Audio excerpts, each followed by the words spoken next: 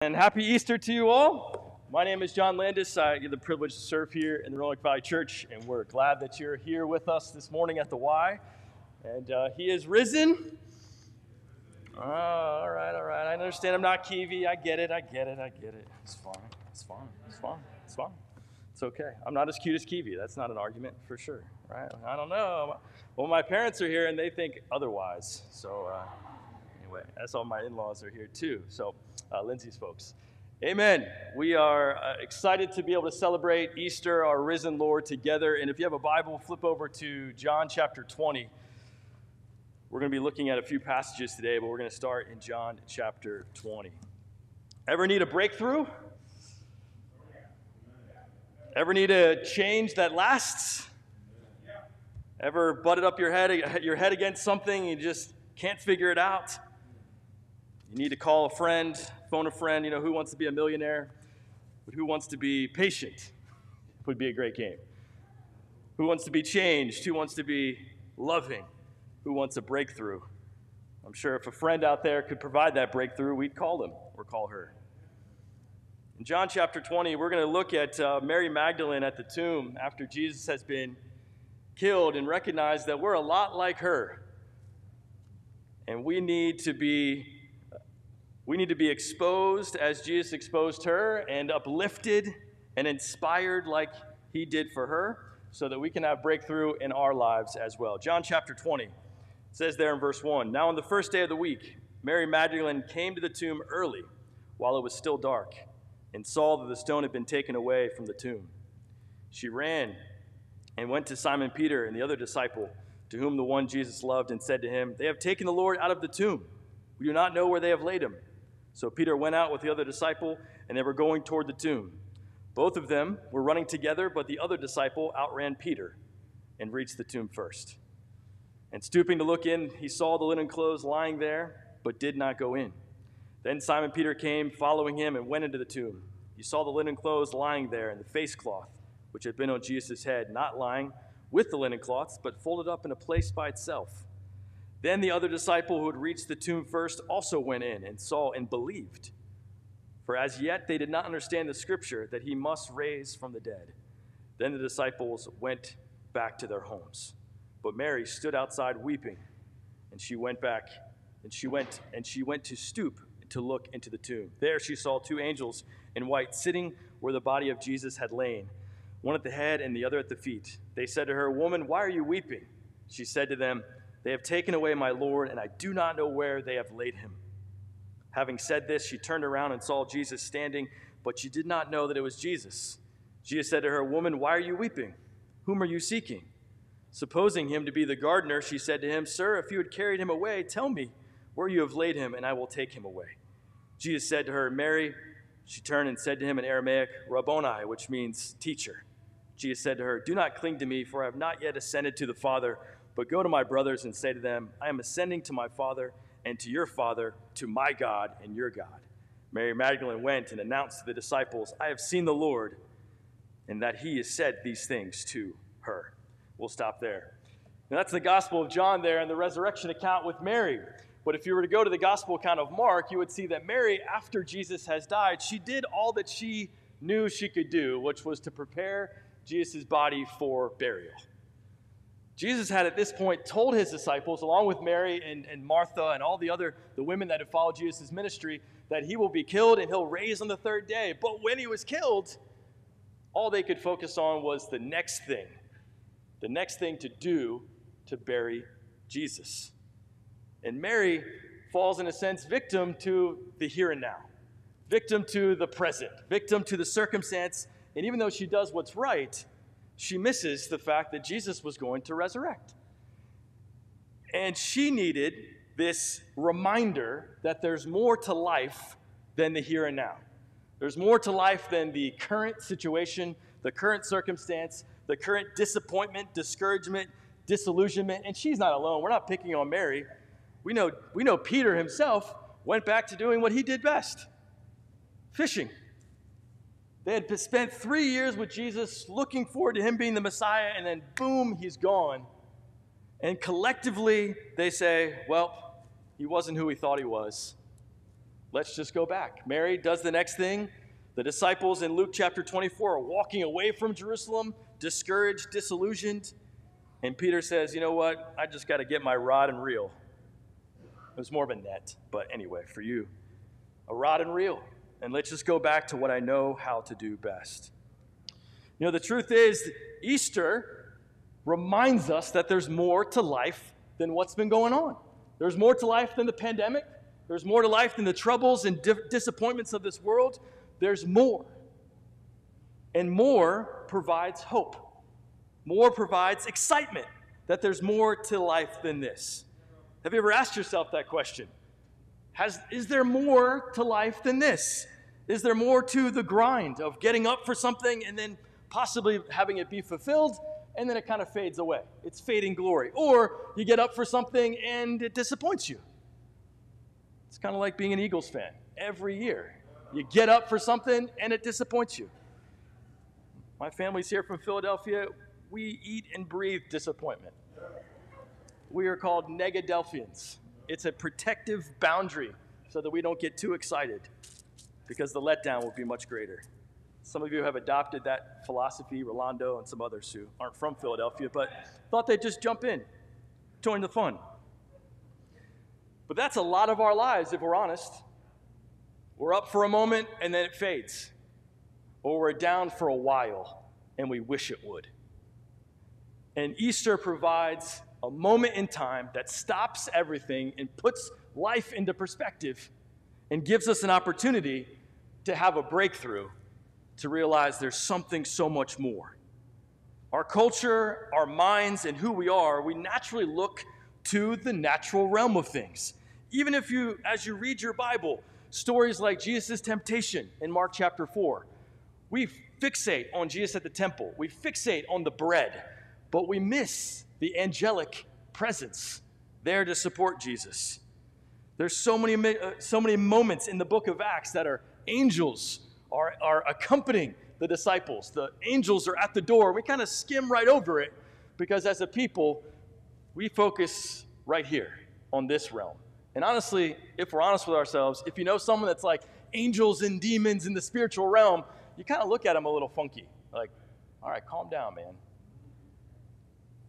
But that's our Western mindset that we just bathe in every day. And Easter reminds us that there's more to look at than whatever you got going on. And I love that Jesus, as he sees Mary weeping, doesn't say, Why are you weeping? and scolds her for being in the moment, but recognizes where she is, but then reminds her of what he said and who he is. So, circumstances, disillusionment, disappointment, 2020, 2021 continued, 2020 wearing a mask. It's the same thing, same heartaches, same difficulties, same injustices, same death going on all around us. And Jesus doesn't say, get over it, time for a breakthrough. He says, I see where you are, but there's more. There's more to this. And that's the breakthrough we all need. The disciples walking away at disillusioned. Jesus shows up in Luke 24, and their hearts, their hearts are burning again as he speaks the word to them. Mary, who's here weeping, then is now leaping and runs off to the disciples to say that she has seen the Lord. These are the kind of breakthroughs that Easter reminds us can happen from tumult to joy beyond reason, from discouragement to now joy and hope that things can be different. We often ask ourselves, man, if I could just have a breakthrough, if I could just have something intervene to break me out of the frustration, the discouragement, the finger pointing, the cynicism, if we could just have something break through our world that resets our hearts and minds to refresh your spirit, to help you see beyond your circumstances, for you to have something show up that could really, truly strengthen you, fortify you, refresh you, and rejuvenate you. Would you take it? If someone offered you that type of fulfillment, would you pursue it? I'm learning more and more every day the pain of the world around us. More and more, the plight of many of my friends and my brothers and sisters, they experience to a degree that I'll never fully understand. And it's so easy to let that discouragement be all I see. And it's important, as Jesus saw her discouragement, to see that, to connect to it, to know that this world is hurting and it's painful and it's a painful existence, that people live in anxiety all the time. That the majority of our world is hindered from looking beyond what's right in front of them, to no fault of their own. That the collective necks of the world are hunched over, prevented to look up and see that there's something greater. The list of things we can trust is getting smaller by the day. The things that we can rely on are being undercut by the day. Our desire for normalcy rather increases. Can we just get back to normalcy? And this is a little bit of slice of that. And opening day on Thursday it was really a slice of back to normal for me. Go Phillies.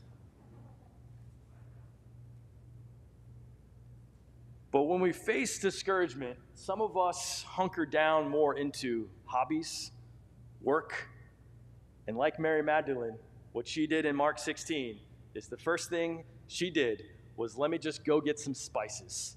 The thing I know how to do and what's right, the next thing that I should do, but she misses the big picture.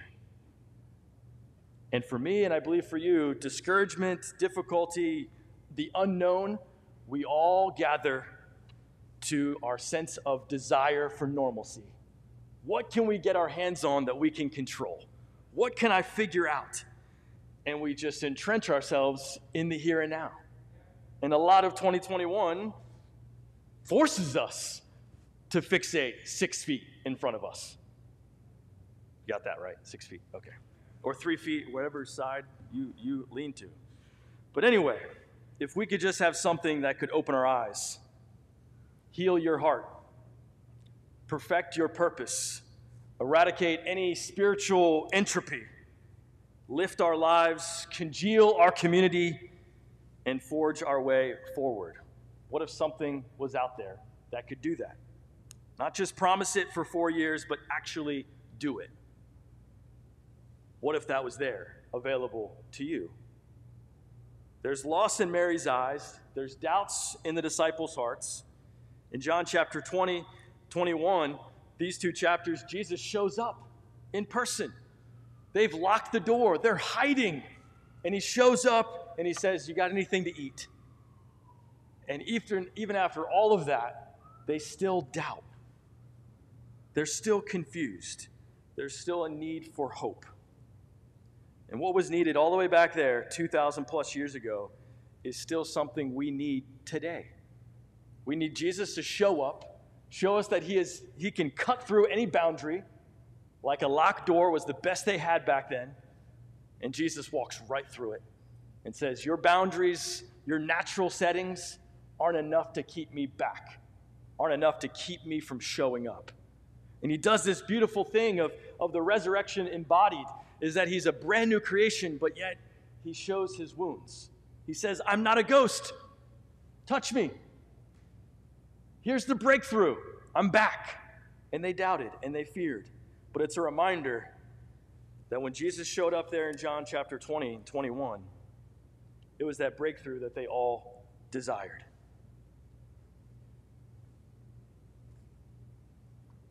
When he shows up with Mary, she changes. When he shows up with the disciples, they change. When he shows up with the disciples on the road to Emmaus in Luke 24, they change. Hearts start to burn, minds start to open, joy gets restored. That's what Easter does for you and I. Amen. The reality is, our world right now, as 1 John 5 says, is that it's actually in control of the evil one. Verse 19, it says, For we know from there from this, we know this is from God. The whole world lies in the power of the evil one.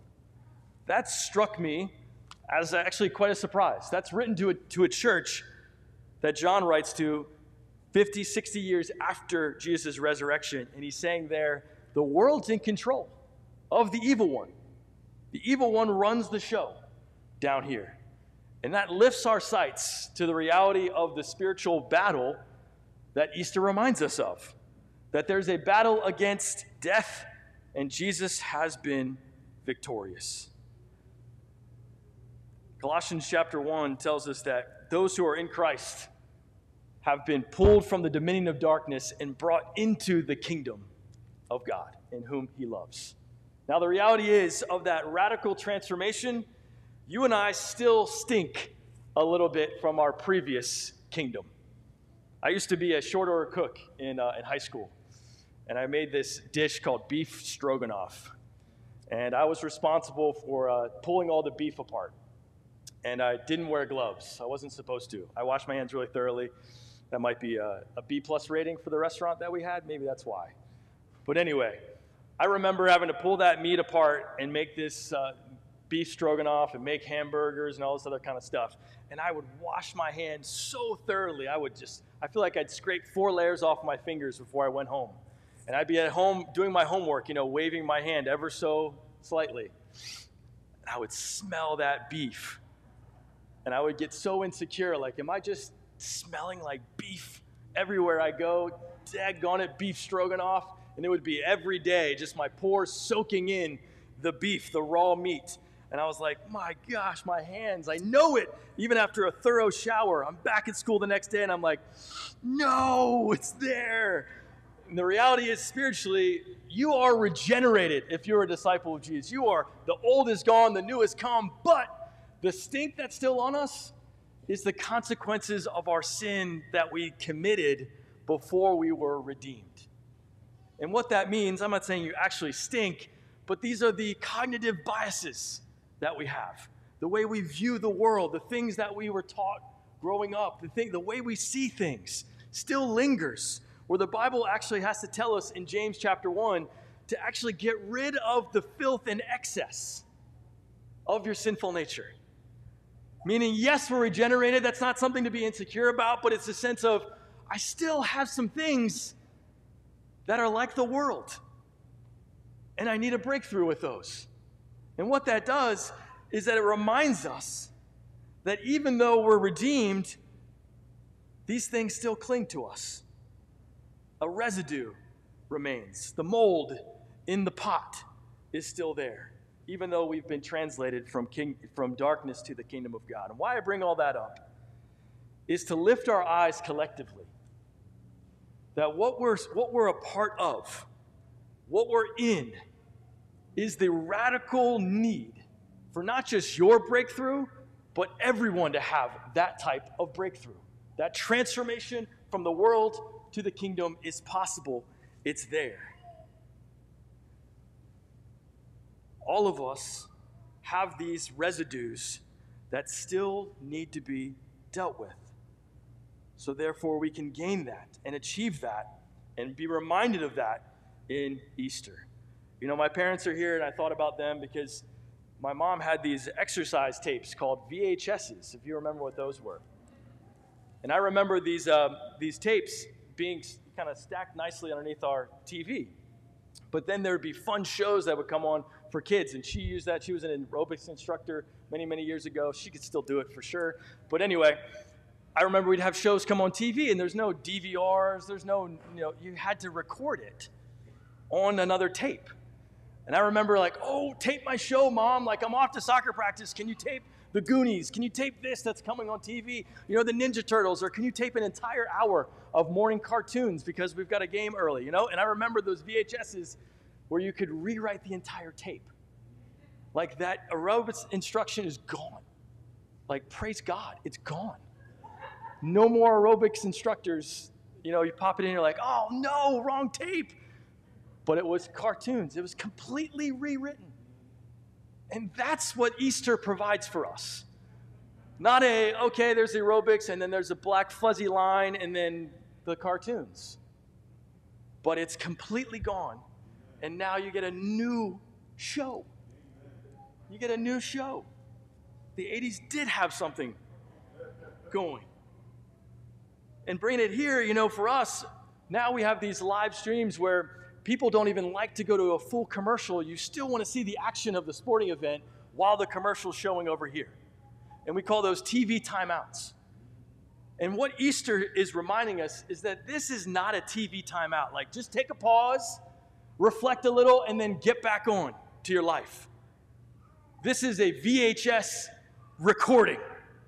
This is not a pause to the action and you go back on with your life. This is rewriting, recording over the tapes breakthrough that Jesus wants to give us.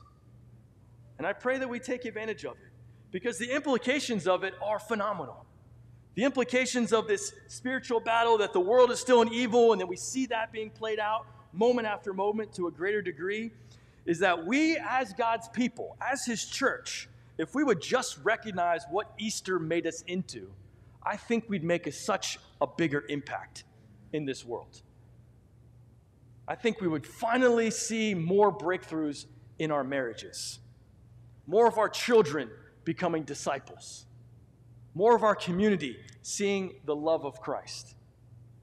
We're not talking about filling seats, we're talking about transformation.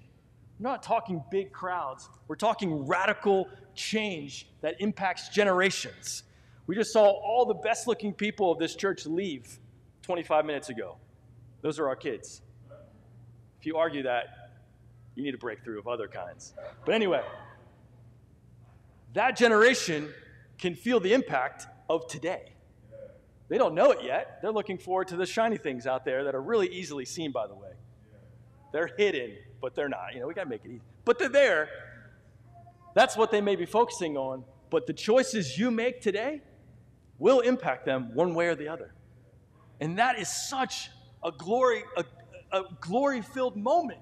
Who deserves an opportunity like that? A breakthrough choice like that? Not us, but we get it and we're reminded of that in Easter. Flip over to 2 Corinthians chapter 10. I want to remind us who we are. Actually, I'm sorry. not, not 2 Corinthians 10. That's a great one, by the way. But over in Ephesians chapter 3. Getting ahead of myself there. Ephesians chapter 3, starting in verse 1. This is who we are because of Easter and what we can embrace moving forward that will really bring not only a breakthrough in our world, but a breakthrough to each and every one of us. It says there, Paul's writing, For this reason, I, Paul, a prisoner for Christ Jesus, on behalf of you Gentiles, assuming that you have heard of the stewardship of God's grace that was given to me for you, how the mystery was made known to me by revelation, as I have written briefly. When you read this, you can perceive my insight into the mystery of Christ which was not made known to the sons of men in other generations, as it has now been revealed to his holy apostles and prophets by the Spirit. This mystery is that the Gentiles are fellow heirs, members of the same body, and partakers of the promise in the Christ Jesus through the gospel. Of this gospel I was made a minister according to the gift of God's grace, which was given me by the working of his power. To me, though I am the very least of all the saints, this grace was given to preach to the Gentiles the unsearchable riches of Christ, and to bring to light for everyone what is the plan of the mystery hidden for ages in God who created all things, so that through the church, the manifold wisdom of God might now be made known to the rulers and authorities in the heavenly places. This was according to the purpose that he realized in Christ Jesus our Lord. Easter reminds us that the church is meant to now be the messengers to all realms of God's manifold wisdom. Now, some of you gearheads are out there thinking manifold. Okay, I know what that is. It's actually, in the original language, language it's this word called polypoikilous, which you don't need to remember. But what that means is many colors. Poly, many, poikilous, colors. The church is the many colored wisdom of God. Now, think about that. What comes to mind? Many colors? Yeah, that was intentional. That was intentional. Many peoples. You saw the context Gentiles and Jews. Gentiles receiving the message. That's all nations. The church is meant to tell the world that God's way is right that to actually have many colored wisdom, the manifold wisdom, showcasing it to the world. That when we gather as diverse as we are, this is a reminder that God's wisdom works. This is a reminder to the evil one that roams that God's way is working. To have unity among God's people is a shot across the evil one's bow that says, Oh no, it's working. I don't watch UFC, but there's a time where the UFC, some guy gets knocked out and his arms go up this, like this, and then the guy just goes over top of him and hits him a couple times for good measure, and the ref's got to come in and call it off. That's the reality of what we've got going on against the evil one. Jesus knocked him out, and the church is meant to get over top of him and take a couple blows just for good measure, to remind him that he lost. And when we transform our lives because of what Jesus has done, it's another reminder to him that he's lost. When we gather, when we're not like the world, where our cognitive biases influence us to where we, we favor others, or we're more concerned about color, or we're more concerned about this or that, when these things inform us more than the gospel message, more than the Easter reality, Satan says, Dang, I lost that one lost this group. This group is showcasing everything that I hoped wouldn't be seen. And he's more than happy to stir up and work extra hard to keep God's church from showcasing this wisdom. It's not just us collectively as a church, although that's super powerful. But think about your family, your marriage, your marriage is the image of God, man and woman. It's a small slice of the manifold wisdom of God, many colors. And that is actually supposed to be a beacon of radical emphasis that Easter mattered to this couple. You can call it Easter, but the resurrection matters to this couple. And it's your opportunity to take Easter and what he's done to the whole world to now say, it matters for me. And I get to actually showcase that to the world that it matters. So, collectively as a church, Easter matters. The resurrection matters in our lives. But does it matter to you? We'll know, and I'll know if it matters to me by the breakthroughs I can have because of it stubborn sin that's crept up and made its home in our hearts of 2020. Does the resurrection matter? It does. And that sin can be eradicated. Is your marriage stale? Are the husbands leading? If they're not, you can be transformed. You can change. Today is an opportunity for a breakthrough. Are our kids Learning about God, maybe not. But today can be a breakthrough. Is there someone in your family that's just like, man, they need to have a breakthrough spiritually? If the resurrection matters, we'll pray and we'll pursue and we won't give up till they have that. Is there an issue in your community, a sphere of concern that you say, this has got to change? It's got to change now. Easter provides us with the reminder that a breakthrough can happen. Mary would have told you, and the disciples would have told you on the way out of Emmaus in the upper room, that the idea of their Jesus raising from the dead, even though he told them multiple, multiple times, would be impossible. But he did it. So for you and I, what's impossible? What's impossible? Lift our eyes away from just circumstances and lift our eyes up to the possibilities of breakthrough in our community, in our church, in your marriage, in your parenting, in your house, at your job, and in your heart. Nothing is impossible. My encouragement for us is to understand that breakthrough is only really inspiring if the previous situation is really junky. If someone's like already awesome and then gets more awesome, you're like, whatever. Tom Brady cares. Six, seven, what's the difference? But if someone's really terrible and then they're awesome, that's the stuff to write home about. That's the kind of stuff we like to hear. That's the kind of stories that we gobble up. That's the stuff that's inspiring. From great to greater, who cares? There's a book about good to great. That's more inspiring. How about from terrible to great? That's our lives. Mary Magdalene, demon possessed by seven demons. That's biblical language for completely possessed. She's completely possessed, and now she's the first one to see Jesus resurrected. That's inspiring. From terrible, lost, tortured to now the now the vocalist of the resurrection. Peter betrayed Jesus, fishing, discouraged, and then he goes on to be the leader of God's church from terrible to great. The resurrection mattered. Those disciples who were cowering in fear are now all going out boldly and all die for Jesus. The resurrection mattered. You're stuck.